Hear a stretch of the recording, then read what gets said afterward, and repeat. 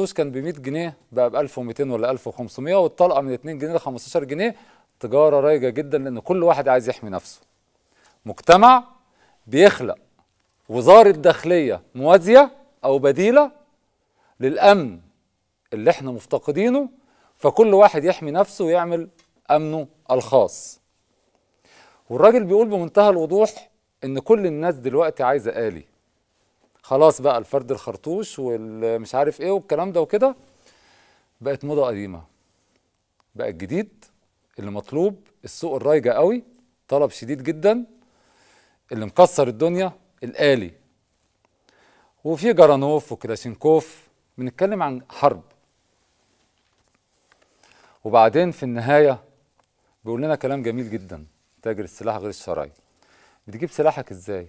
قال جوجل والفيسبوك والعرض موجود على عينك يا تاجر. أنا عندي قطعة سلاح واللي يدخل يعمل مزاد يشتري. معايا على التليفون اتصال من اللواء سيد شفيق وزير المباحث الجنائية بمصلحة الأمن العام. مساء الخير يا سيادة اللواء. مساء الخير يا أستاذ مجدي مساء الخير على ضيوفك الكرام. أهلا وسهلا. أهلا وسهلا. أنا ضيوف النهاردة يا فندم السادة المشاهدين وحضرتك. أهلا وسهلا يا فندم أهلا وسهلا. حضرتك شفت معانا. التحقيق التلفزيوني من لا، شوية للأسف للأسف أنا كنت بره فأنا ما شفتش ال- عامة يا سيادة اللواء إحنا هنعيده في آخر الحلقة هنعيده بالكامل في آخر الحلقة عشان اللي فاتوا يشوفوا تاني. لكن لكن عايز أقول لك إن أنا شخصيا فزعت خفت من تجارة السلاح اللي موجودة في مصر. أستاذ مجدي آه، لازم نتفق إن آه، في حيازه السلاح أصلا في مصر ده موروث اجتماعي وعارفين إن السلاح من زمان آه، من قدم الأزل موجود آه، في بعض المناطق خاصة في الصعيد وده موروث قبلي.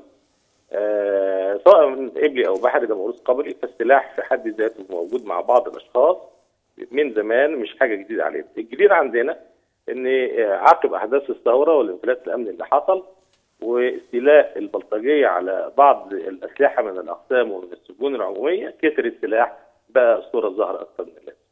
قطاع الأمن العام آه، بيقوم بحملات مكبرة على كل مناطق الجمهورية في مجهودات ضخمة جدا في مجال ضبط الأسلحة النارية إحنا ضبطنا أكثر من 4000 قطعة سلاح في خلال الشهر ونص أو الشهرين تقريبا اللي فاتوا والحملات متصاعدة ومستمرة لحد إن شاء الله ما نقلص تماما العدد اللي موجود في.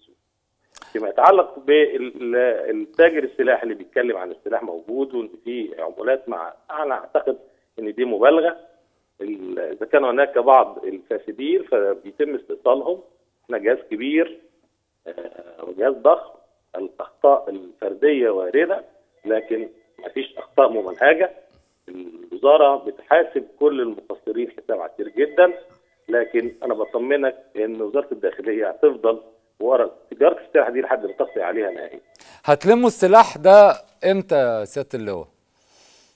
إحنا شغالين إحنا حضرتك شغالين والحملات يوميا على كل آه، مدن ومحافظات وقرى مصر بتجيب آه، نتائج الحقيقة هايلة جدا إحنا متفائلين إن شاء الله في خلال الثلاث أشهر الجايين إن شاء الله تكون المعدلات الطبيعية لحقيقة الإسلاح موجودة وأنهينا على ظاهرة ظاهرة السلاح الظاهر اللي موجود مع الناس بشكل كبير شوية.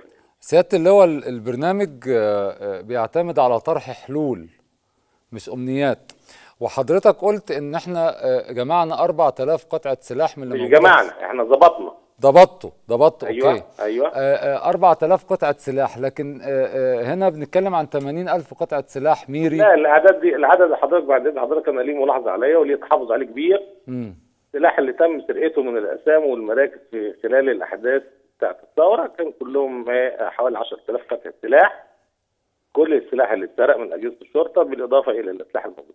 أستاذ مجدي لازم تعرف إن إحنا في ظروف حصلت فيها تداعيات في الجانب الغربي من البلاد الأحداث بتاعت ثورة ليبيا في عمليات تهريب للأسلحة بالإضافة إلى تهريب الأسلحة اللي جاية لنا من الجنوب والشرق ال- أيضا كمان. فتجاره السلاح عبر الأرض المصرية مستمرة زادت في الأيام الأخيرة ولسوء الحظ إن هي تصادفت في مع وجود الثورة والانفلات الامني في بداية الثورة. طيب سيادة اللواء خليك معانا بعد إذن حضرتك. معانا آه، تليفون من الأستاذ خالد أبو المجد. أبو المجد. أيوه. من الصف. على فكرة يا سيادة اللواء حضرتك قلت إنه الصعيد فيه سلاح وغيره إحنا التحقيق. التلفزيوني ده اتعمل في الصف وفي قرى؟ مع حضرتك بعد إذن حضرتك الصف دي منطقة منطقة فيها الطابع ال- ال- البدوي. في جزء كبير من بعض قرى الصف كلها في المنطقة الشرقية وفيها قبائل عربية. وما ينطبق على القبائل العربية بينطبق على اهلنا في الصعيد وفي وجه بحري. آه، الصف لا تستثنى آه، من مناطق الصعيد أو من مناطق الصحراوية. طب معانا خالد يا فندم خليك معانا المواطن خالد.